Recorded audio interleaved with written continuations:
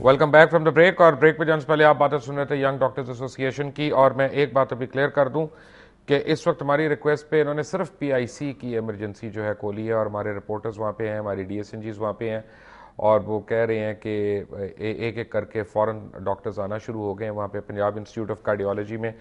और जैसे वो उनसे हमारा रबता होता है मवासलाती रबता होता है वाई सेटेलाइट तो फौरी तौर पर हम आपके लिए ब्रेकिंग न्यूज़ लाएँगे। भले हमें प्रोग्राम लंबा करना पड़े, आज हम इस एमरजेंसी को इंशाल्लाह शुरू करवा के, आपको दिखा के, फिर हम पर ख़त्म करेंगे। मुझे बड़े, आपने देखा बीच में फ़ोन्स कितनी आई हैं, मेरे पर्सनल और जितने लोग देखने वाले हैं, वो सब आप लोगों को अप्रिशिएट कर रहे हैं यंग डॉक्टर्स को अप्रिशिएट कर रहे हैं। And on behalf of Dunya television and the management of Dunya news and the staff of Dunya news I would like to thank you all और आपकी जो दीगर भी है अहदे दौरान है और मैं डॉक्टर उस्मान आप सबसे ये रिक्वेस्ट करूँगा कि आप को जैसे मैंने अभी रिक्वेस्ट की थी ब्रेक में कि एमरजेंसी मीटिंग कॉल करें इस प्रोग्राम के ख़त्म होते ही और पूरे मुल्क की जो एमरजेंसीज है ना उनको किसी तरह रिसॉल्व करें इस इशू को। देखें ये ना तो मेरे अकेले का फैसला है और ना ही हम इधर चार लोग बैठे हैं इनका फैसला है। हम खुद ये नहीं चाहते हैं कि ऐसे हालात पैदा हों जिनके अंदर लोग सफ़र करें, क्योंकि गवर्नमेंट तो ज़रूर ये चाहती है, और गवर्नमेंट ने ये साबित किया है, ये कि वो यही चाहती है कि सिर्फ़ लूली लंगड़ी तौर पे हुकूमत चले और लोगों को यही लगे कि सब काम ठीक चल रहा है। आप ये देखें कि आज सुबह वार्ड बॉयज़ और उसके अलावा बीएससी के स्टूडेंट्स उनको वाइट कोट पहनाकर डॉक्टर शो कर कर आप क्या साबित करना चाहते हैं? कि आपने सब निज़ाम ठीक कर लिया है? लोगों को हेल्थ फैसिलिटीज़ मिलना शुरू हो गई हैं। अगर आप सिर्फ़ यही साबित करना चाहते हैं कि हम ठीक हैं और हम जीत गए हैं तो इस तरह की जीत आपको मुबारक हो। लेकिन जो बात है पूरे पंजाब की एमरजेंसीज खोलने की, पूरे पंजाब की एमरजेंसीज खोलना, वो हम, ये आपसे वादा करते हैं, कोशिश ज़रूर करेंगे कि हम पूरे पंजाब की, क्योंकि हम पिंडी से रहीम मैंने आपको ये कहा मैंने आपको ये कहा कि अगर आप अपना इजलास अभी बुलवा लें और हम भी उस इजलास में रिक्वेस्ट करेंगे एज दुनिया न्यूज़ कि जी हम आपको गारंटी दे रहे हैं कि आपकी आवाज़ मुल्क के हर कोने तक पहुंचाएँगे और जब तक उसमें फ़र्क नहीं पड़ जाता तो आई मीन बियॉन्ड मैंने कहा कि आपसे नहीं हम अपने एक्सपेंस पे दुनिया टीवी की मैनेजमेंट जो है सुप्रीम कोर्ट का दरवाज़ा खटखटाना पड़ा हम जाएँगे मुबशर साहब हम मैं ये वाजे कर दूँ कि हम पिंडी से रहीम यार खान तक हमें सब लोगों को ऑन बोर्ड लेना पड़ेगा इस फैसले के लिए। मैंने आपको बताया ये भी सिर्फ़ अटक से तो आपका ताल्लुक है उसको भूल गए हैं अटक भी ले लेना ऑन बोर्ड सर लेकिन हम ये वादा करते हैं कि इजलास हमारा आज ही होगा और अभी कुछ देर में इजलास शुरू होगा और हम इस बात को कंसिडर करेंगे। लेकिन ऑब्वियसली हमारे जनरल काउंसिल हॉस्पिटल तेरह शहर वो हैं बाकी जो छोटे शहर हैं वो भी हमें सपोर्ट करते हैं उन सब की राय के मुताबिक आज, तो बलोचिस्तान के डॉक्टर्स ने भी हड़ताल का ऐलान कर ये यकीन मानिए कि इमरजेंसी बंद करना कतन हमें पसंद नहीं है। आप हम डे वन से when a person thinks that I am to be a doctor वो हमेशा से यही सोचता है और ये पता होता है। हमारे पेरेंट्स इनकलकेट करते हैं हमारे जहनों में मुआरा इनकलकेट करता है you are to serve humanity आप लोगों की खिदमत के लिए यकीन मानिए सर के इमरजेंसी में काम ना करना इमरजेंसियाँ बंद करना हमारा ख्वाब नहीं था। ना हमने ये सोचा था कभी डिग्री लेते हुए, ना जब सफ़ेद कोट पहनते तो सफ़ेद कोट के तकदस का हमें ख्याल है, सर। हम ये नहीं चाहते कि हमारी जगह बीएससी किए हुए लोग जाके मरीजों को देखना शुरू कर दें। सिर्फ़ देखना ही काम नहीं है। हम उनके लिए काम करना चाहते हैं सर। और, और वो हम सब चाहते हैं लेकिन हम सिर्फ़ ये चाह रहे हैं कि मुस्बत रवैया होना चाहिए। हुकूमत मुस्बत हुकूमत का मैं क्या कहूँ आपको मेरी अभी जो मुझे सारी रिसर्च मिली है उसमें तो यह है कि पंजाब के जितने डी एच क्यूज हैं डी एच क्यू हॉस्पिटल जो हैं उनमें कहीं पे सर्जरी नहीं हो रही क्योंकि कई महीने से एनेस्थीजिया ही नहीं है। सो कॉल्ड गुड गवर्नेंस के जो चर्चे हर तरफ़ हैं exactly. उसके तो भांडे फूटना शुरू हो गए हैं। और मुझे पता चला है कि दवाइयाँ भी गलत आ रही हैं अस्पतालों में पिछले प्रोग्राम में भी आपसे ज़िक्र हुआ था कि हम हम यही कह रहे थे कि आप एफिकेसी चेक करवा लें उन मेडिसिन की जो अस्पताल में आ रही है कि वो कितनी इफ़ेक्टिव है। ऐसा क्यों होता है कि तो फवाद असन फवाद अपना ला रही हैं दवाइयाँ।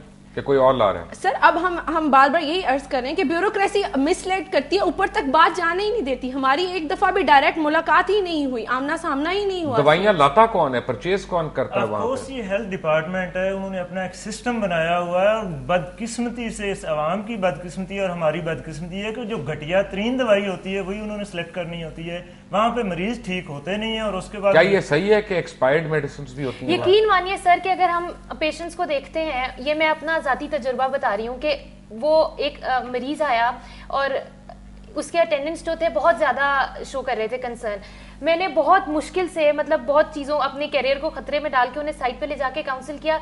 If you are so very concern by your patient medicine from your own pocket और सर दो घर वालों को जब देना होता है तो बाहर से क्यों मंगा सर एक ही एक ही डिज़ीज़ के दो पेशेंट्स थे they were side by side in the emergency and the attendants who brought the medicine from outside इतने करोड़ रुपए के इश्तेहारात दे रही है हुकूमत पंजाब इसके बजट है उनके पास गरीब को सही देने का मैं आपको ये गारंटी से बताता हूँ मुबशर साहब कि अगर आप इन जो अभी तक इश्तेहार लगाए गए हैं जितने मैस लेवल पे लगाए गए हैं इनका खर्चा भी कम अज कम 20 से 25 करोड़ रुपया होगा। और इतने में तो आप पूरे पंजाब के डॉक्टर्स को जितनी आप तनख्वाह देना वज़ीर आला का नाम जो आया इतनी बारी और बीस पच्चीस करोड़ का अगर उनका नाम आ गया तो खुश आई अप्रिशिएट स्पोर्ट्स उनके पास इतना पैसा है कि हारे हुए खिलाड़ियों के लिए उनके पास बहुत ज़्यादा गिफ्ट्स हैं कि वो हार के आ गए। हम उन, ज़मीन दे रहे हैं। उन डॉक्टर्स के लिए कुछ भी नहीं है जो छत्तीस छत्तीस घंटे ड्यूटी करते हैं जो लोगों को बचाने की कोशिश करते हैं। वो सिर्फ़ दिखाने के लिए वो मीडिया पर ये बताने के लिए वो हमारे जाकर रिसीव करना था उनका ख्याल था कि इस वजह से उनको लोग पसंद करेंगे।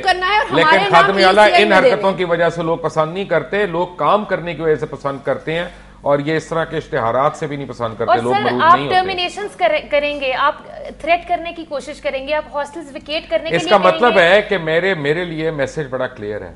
पंजाब हुकूमत का कि मैं अपने बच्चों को डॉक्टर ना बनाऊँ। बिल्कुल गवर्नमेंट सिर्फ़ ये चाहती है कि यहाँ पर वैसे लोग पैदा किए जाएँ कि वो बॉम्ब ब्लास्ट करें तो उनके साथ आप निगोसिएशंस की टेबल पर ज़रूर आ सकते हैं। लेकिन वो बंदा जो कौम की खिदमत करना चाहता है उसको आप कातिल बनाकर पेश करना चाहते हैं। आप ये नहीं चाहते कि उसको मसीहा को मैं भी आपको एक चीज़ दिखाता हूँ पंजाब इंस्टीट्यूट ऑफ़ कार्डियोलॉजी चलते हैं और नहीं पहले चलते हैं मुझे हालाँकि मेरे प्रोड्यूसर कही जा रहे हैं कि जरा ब्रेक ले लें। नहीं ब्रेक नहीं लेनी। आप पंजाब इंस्टीट्यूट ऑफ़ कार्डियोलॉजी आपको दिखाता हूँ। वहाँ पे इस वक्त जो है इमरजेंसी सर्विसेज़ ऑन हो गई हैं लाहौर में।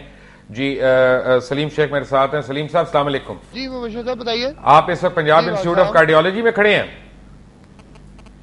जी मैं इस वक्त पंजाब इंस्टीट्यूट ऑफ़ कार्डियोलॉजी में खड़ा हूँ। यहाँ जो यंग डॉक्टर के नुमाइंदे और ये यंग डॉक्टर जो थे वो हड़ताल पर गए हुए थे गुजशत कई रोज से। बल्कि आज पैंतीसवा रोज है और जबकि इमरजेंसी बंद किए हुए आज छठा रोज था। फौरी तौर पर दुनिया टीवी के प्रोग्राम पर रिक्वेस्ट करने के बाद यंग डॉक्टर्स के नुमाइंदे जो हैं, वो पीआईसी की इमरजेंसी में आ गए और छह डॉक्टर जो हैं इस वक्त इमरजेंसी में आ गए, उन्होंने काम शुरू कर दिया है। जी। मुझे जरा अंदर का हाल आप दिखा सकते हैं। मैं नहीं चाहता कि आप इमरजेंसी के अंदर जाएँ, लेकिन हमें देख लें कि जरा वार्ड में लोग डॉक्टर आपके साथ को खड़ा हो तो उसकी शक्ल दिखाएँ, बात करा दें, ताकि हमें तसल्ली हो जाए कि हाँ ऑपरेशन शुरू हो गए हैं। जी डॉक्टर्स की जो सूरत हाल है वो ये है कि छह डॉक्टर अभी कोई 10 से 15 मिनट कबल आए हैं और उन्होंने यहाँ पर आकर इमरजेंसी में इंतज़ाम संभाल लिया है।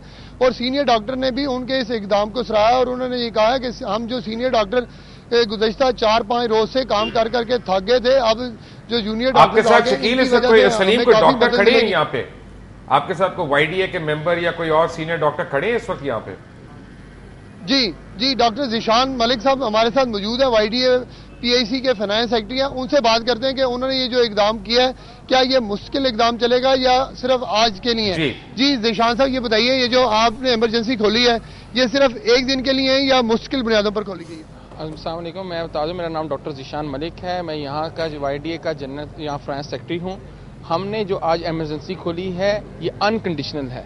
किसी किस्म का कोई कंडीशन नहीं लगाई है और ये मुस्तकिल खुली रहेगी। ये आप लोगों की रिक्वेस्ट के ऊपर देखें। हम हम डॉक्टर सारे के सारे जो थे मीट ये बात को जब्त करना चाहते हैं हम मरीजों को देखना चाहते हैं। हमारे असूली मौकफ हैं। हमारा असूली मौकफ ये है कि जो खोसा साहब के साथ डील हुई थी उसको फुल फोर जो है मंजूर अच्छा, साहब ये बताइए कि आपने पीआईसी की जो इमरजेंसी है वो तो खोल दी है। तो बाकी पूरा पंजाब जो है वो भरा पड़ा है। लाहौर में भी कोई पाँच या छह बड़े हॉस्पिटल हैं। तो वहाँ के जो मरीज़ हैं डिस्टर्ब हो रहे हैं उसका क्या करेंगे आप? जी मैं उसमें बताता चलूँ कि हमने तमाम हॉस्पिटल्स के अंदर हमारी सारे के सारे वाईडीए को हमें बड़ी तशवीश है कि हुकूमत ने जो अपने नाम ने हाथ तरीके से हर तरीके से हमें दबाने की कोशिश की हर चीज़ करने की कोशिश की और अल्टरनेट इंतज़ाम करने के दावा किए गए लेकिन अनफॉर्चुनेटली वो बिल्कुल बुरी तरह नाकाम हुए हैं। और मैं इस बात को कहूँगा बिल्कुल फखरिया तौर पर कहूँगा कि हम डॉक्टर कम्युनिटी बिल्कुल एक साथ इकट्ठे हैं। हम इस बिल्कुल बिल्कुल गहरी नज़र रखे हुए हैं। ये बताएँ जिशान साहब के जो पूरे लाहौर साहब मुझे सलीम साहब मुझे यहाँ पे एक छोटी सी ब्रेक लेनी है। जब आप ब्रेक से आएँगे तो मैं आपको बताऊँगा। Young doctors association I I salute you आप लोगों ने पंजाब इंस्टीट्यूट ऑफ़ कार्डियोलॉजी की एमरजेंसी खोली, छह डॉक्टर्स फौरी तौर पर वहाँ पहुँच गए, मजीद वहाँ मुझे पता चला है कि पहुँच रहे हैं। और जब एक ब्रेक से आएँगे तो आपको बताऊँगा कि बाकी पंजाब में क्या हो रहा है। But all of that after break take break